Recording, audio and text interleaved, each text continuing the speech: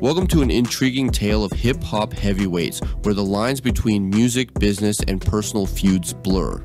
This recent saga involves Cassidy, Benzino, and Eminem, where rumors and speculations are running wild. Cassidy finds himself in the eye of the storm, addressing rumors of ghostwriting for Benzino's Eminem diss tracks in a new song. In these perplexing times, Cassidy, the Philadelphia hip hop artist and battle rapper, takes to Instagram to clear the air. He shares a snippet of his new song, Mind Capacity, where he addresses the rumors head on. Cassidy confirms, I ain't ghostwrite Benzino diss, that's bogus. In the past, I ghost wrote for the writer that ghost wrote it.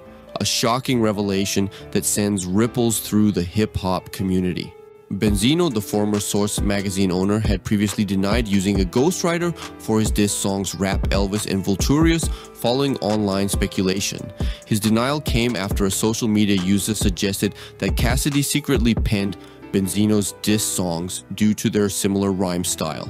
But Cassidy's revelation has thrown a wrench into the works, leaving the hip hop world thinking, who really wrote Benzino's diss songs?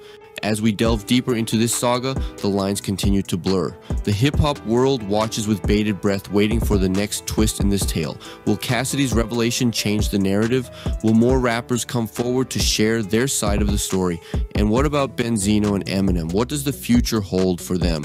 As this story continues to unfold, it leaves us with a burning question that's begging to be asked Who really wrote Benzino's diss tracks, and will the truth come out in his favor?